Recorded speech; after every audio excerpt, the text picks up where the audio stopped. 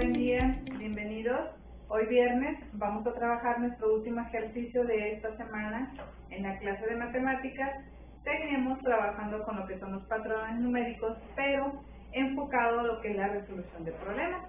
Eh, te voy a apoyar como siempre, ¿verdad? en lo que es el ejercicio de la página 79. Te invito por favor a que tomes tu libro de la página 79.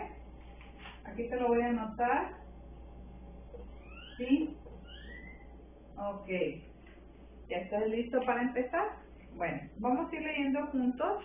Recuerden que como estamos trabajando lo que son patrones numéricos, es importante ir observando lo que son este, los números, ir checando cuál es la secuencia que lleva cada uno de los dígitos que se te indique. ¿De acuerdo? Ok, empezamos, dice así, resolución de problemas, usa la tabla en los ejercicios 8 y 10. Del 8 al 10 vamos a utilizar la tablita que está del lado derecho. Si tú observas, dice, eh, la altura de los árboles en centímetros, aquí te maneja por años, desde el comienzo, cómo estaban de altos, por ejemplo, el árbol nogal, nogal americano, dice que 30, el roble, 25 enteros, un medio, ¿sí? Y posteriormente ya te maneja o te especifica lo que son los años. ¿De acuerdo? Bueno, vamos a ver primero el problema para saber de cuánto en cuánto debe de ir la secuencia en esa tablita. Por ejemplo, dice ahí, matemáticas y ciencias.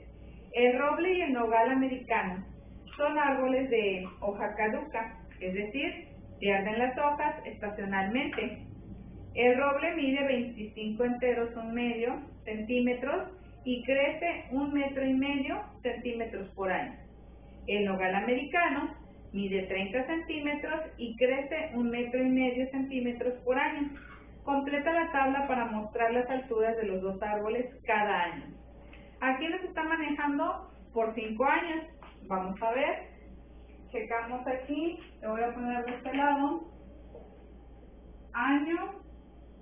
Lo que es el arbolito roble. Nogal americano. Ok. Aquí tenemos el comienzo.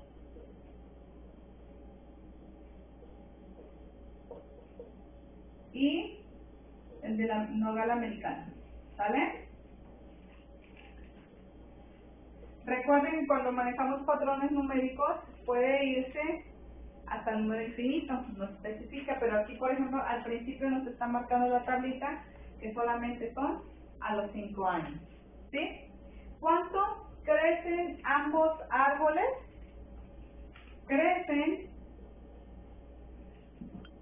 un metro y medio ¿verdad? Centímetros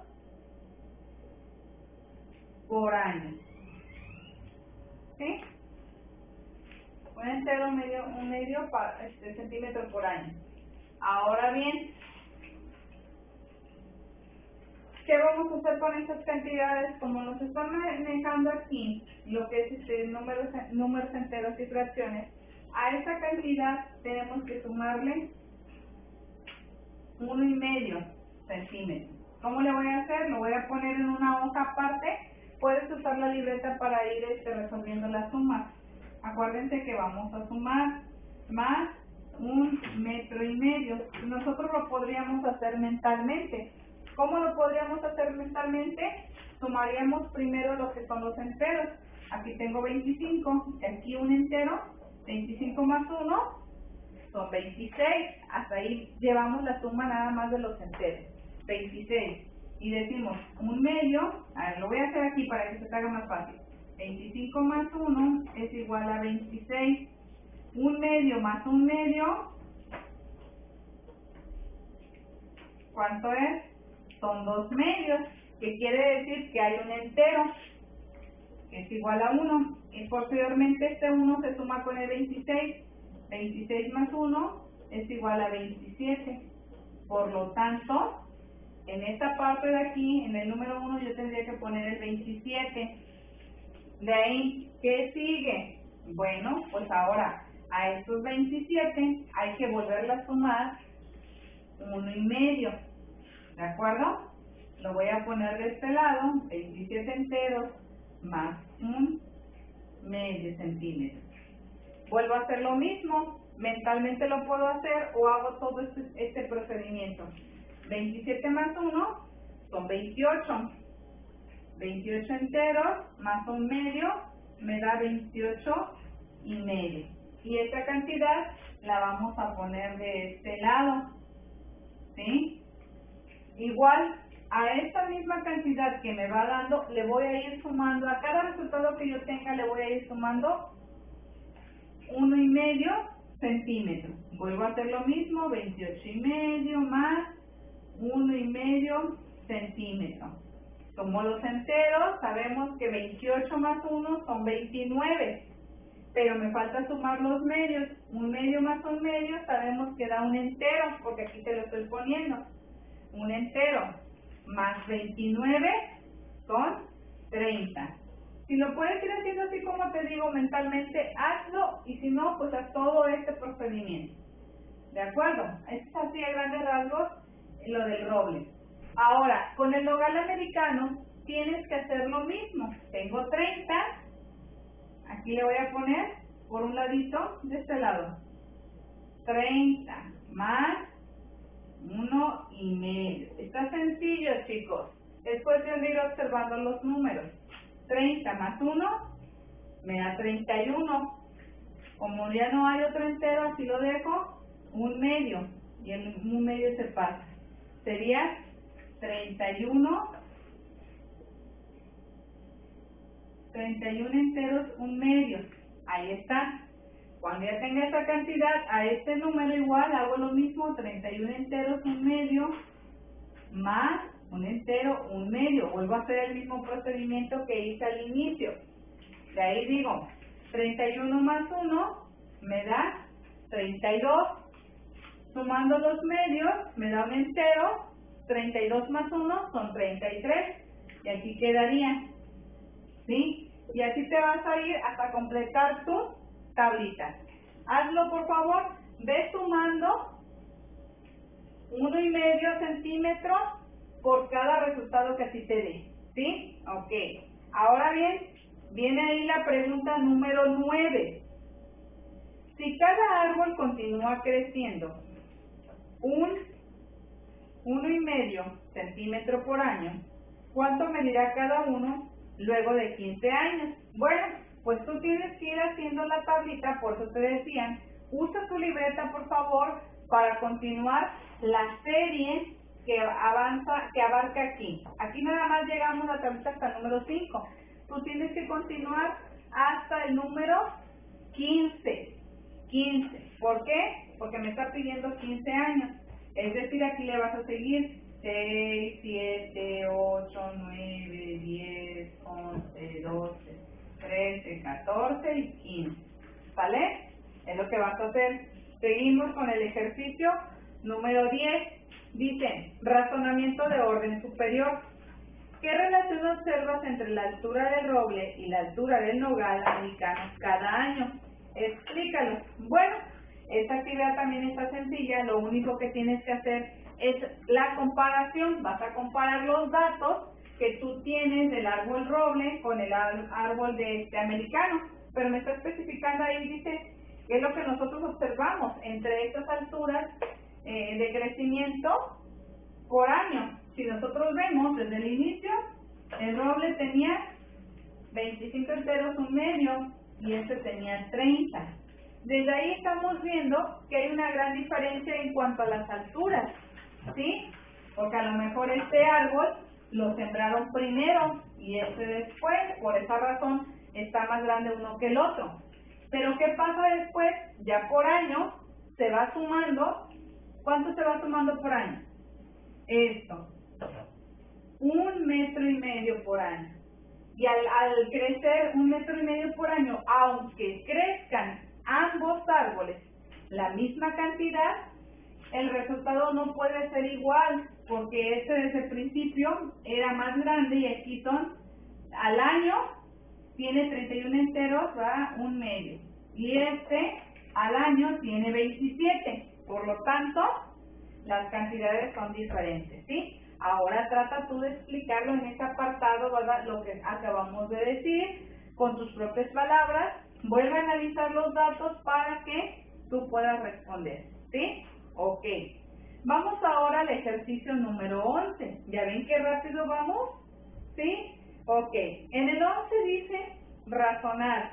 Cada cuadrado pequeño del tablero de ajedrez tiene el mismo tamaño. ¿Sí? Eh, la longitud del lado de un cuadrado pequeño es de 2 centímetros. ¿Cuál es el área del tablero de ajedrez? Y explica. Bueno, ahí nada más nos están proporcionando la longitud de lo que es este el cuadrado pequeño, o sea, cada cuadrito. Pero cuando nosotros queremos calcular el área de un, de un tablero, recuerden que usamos lo que es la base por altura. Pero ahorita vamos a checar este el procedimiento. Primero, chécame cuántos cuántos cuadritos hay de forma la primera hilera, la primera fila, cuántos cuadritos hay y cuántos cuadritos hay por columna, ¿sí? Checa cuántos hay así de forma horizontal y de forma vertical. Cuéntalos por favor y ahorita me dices. Mientras voy borrando el pizarrón, ¿de acuerdo? Ok.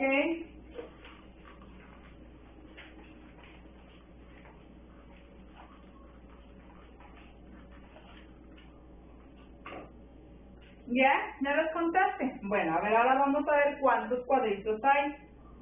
Cuento 1, 2, 3, 4, 5, 6, 7, 8. Hay 8. ¿Cuántas de las columnas cuántos cuadritos hay? 1, 2, 3, 4, 5, 6, 7, 8. Ok, hay 8 y 8. El primer paso que vamos a realizar es multiplicar 8 por 8. ¿Sí? 8 por 8 son 64 cuadritos. Tenemos en este tablero 64 cuadritos, pero ahora de esos cuadritos queremos nosotros este, calcular, ¿verdad? Precisamente el área del tablero. Eh, ¿qué, ¿Qué sigue? ¿Cuántos lados tiene cada cuadrito? ¿Cuántos lados? Tiene cuatro. Bueno, vamos ahora a multiplicar 4 por 64. ¿Sí? Para poder así obtener lo que es el área de todo ese tablero, ¿sí?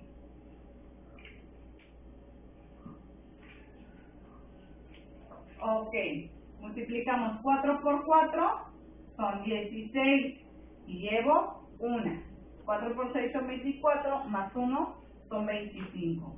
Aquí tenemos ya nuestro resultado, que es 256 centímetros cuadrados, porque eso es lo que es nuestra área. ¿Por qué? Porque nosotros primero multiplicamos precisamente el área de un cuadrado pequeño, ¿verdad? Por la cantidad de cuadrados que nosotros tomamos. Como te preguntaba y te decía, vamos a contar los cuadritos que hay de forma horizontal en, en una fila y luego en una columna para averiguar cuántos cuadritos tenemos en el tablero. Tenemos 64, posteriormente lo multiplicamos por 1 cuadritos, que son los lados que tiene un cuadrado, ¿sí? Y esa es la cantidad que nos dio a nosotros. ¿Ya vieron que está sencillo? Ok. Vamos entonces con el ejercicio número 12. Dice así, Jessica ahorró 50, 50 pesos y cada semana agregará 25 pesos a sus ahorros. Roy ahorró 40 y cada semana agregará 25 a sus ahorros. ¿Cuánto habrá ahorrado cada uno luego de cinco semanas? Bueno, si a ti se te hace difícil hacerlo mentalmente, vamos a recurrir a lo que son las tablitas, ¿sí? Vamos a recurrir a las tablitas, vamos a poner, este es el ahorro. ¿El ahorro de quién? ¿De quién estamos hablando, chicos? Estamos hablando de Jessica, vamos a ver, de Jessica y ¿cómo se llama la otra persona? Roy. ponemos al comienzo, acuérdense, el comienzo. Lo voy a poner de este lado. Comienzo.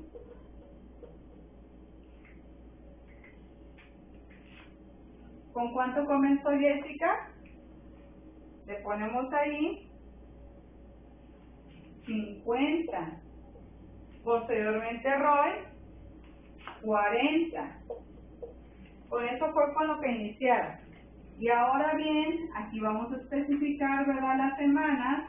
Semana 1, 2, 3, 4 y 5.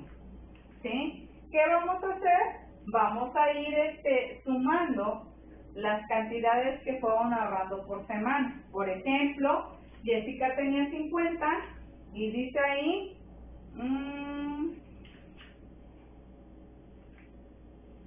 la vamos a poner del lado derecho, 25 pesos por semana, ¿qué es lo que le agrega? ¿Qué es lo que vamos a sumar? Nosotros vamos a sumar esta cantidad a cada dato. 50 más 25 son 75.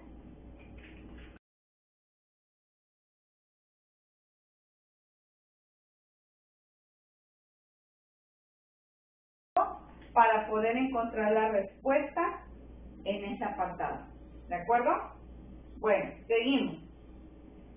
¿Cuáles de los siguientes enunciados son verdaderos? Una vez que tú hayas analizado y hayas completado tu tablita y hagas las comparaciones, te vas a poder dar cuenta cuál es el resultado que vas a colocar, cuáles son los que vas a rodear, ¿verdad? En esos enunciados, cuáles son verdaderos. Vas a seleccionar dos, checa cuáles son, pero necesitas primero terminar la tablita en tu libreta, ¿verdad? Para que puedas tú encontrar la respuesta correcta. ¿De acuerdo? Bueno, chicos, pues esta fue nuestra pequeña actividad del día de hoy. Recuerda, tengo dudas, eh, te mando mensajito a la plataforma o bien nos debemos de conectar en Zoom, ¿verdad? A las 5 de la tarde el día de hoy. ¿De acuerdo? Ok, deseo que tengas un excelente fin de semana, cuídate mucho y nos vemos el día lunes.